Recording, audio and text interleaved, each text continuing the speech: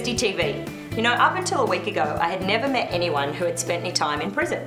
When I interviewed DJ Verrett, an amazing guy who had spent 16 and a half years in prison, it really made me realize that sometimes people aren't bad people, they just make bad decisions. And they end up through small bad choices, their environment, um, not having the right knowledge or education, they end up in this situation and then they're labeled and stigmatized for life. You know, when he came out, he had never even sent an email. 16 and a half years later, a lot of things have changed. I mean, don't we all know someone who's made those bad choices and, you know, has gone down the wrong path and could just as easily end up in prison for those choices? Yeah. Some of them just don't get caught. Yeah, it's it's important for us to remember that you know the circumstances could have been a lot of us. You know, Yeah. Oh, yeah. Um, I, I have a job um, working at a retail place, just a you know part-time job, and this guy came in, and he'd been recently um, let out of jail, and I felt bad for the guy. I could tell he'd lost some skills. Yeah. He'd been gone a while, and he really wasn't uh, up to the interview process. He wasn't up to you know showing representing himself well. And I watched it. I saw people just dismiss him and ignore him, and so it's got to be tough.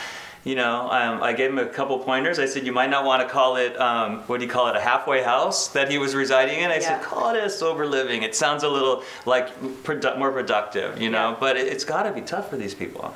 Yeah, I Yeah. think, I mean, anyone who can help like that is a beautiful thing because they really do need the support. They need to develop interpersonal skills, social skills. I mean, when you're in prison, it's a very violent place.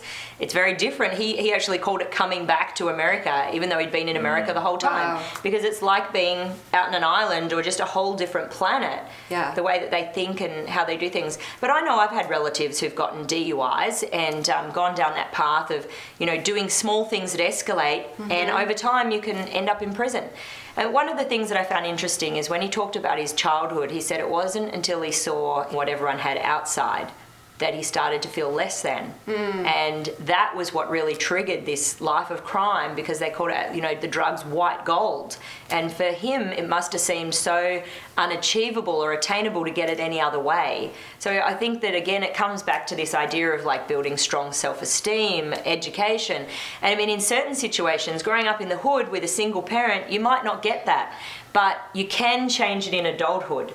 You know, he went on after his 16 years, he used that time. It, what else can you do? You're alone for that long to think and to really get clear on what he needed to do to make a change in his life. And as an adult, he was able to make better choices. That's such an inspiring story because Yeah. so many people are in that position and that's exactly what they need to do. He's Yeah. like a beacon of light and hope. And, and they think their life's over and it's all done. Yeah. And it doesn't have to be that way. You can change at any point in your life. And even one of my other interviews, Sherry, she really said, you know, choose again. yeah. Choose again. And we can nice. choose Yeah. again every day. Yeah. Every moment, really. Yeah. I found Yeah. a lot of people in prison, a lot of the young guys, um, African American particularly, they get there because a lot of them don't have that, fa- that father structure in the house. Yes. That's mm-hmm. very, people, Yeah. people seem to think, well, no, if you do your research, they don't have that father structure. Yeah. So if they can be in prison, get out of prison, and be the father they didn't have, maybe they won't go back. Yeah. That's how you kind of, you know, change your change your pattern of what you didn't have. Well, African Americans, I think the statistics are, you know, greater than any other minority. They end up in prison. Just Because I have a cousin, he was in prison, he was like maybe 13 years old, not prison, but he started at 13. And now um, he's in his 40s.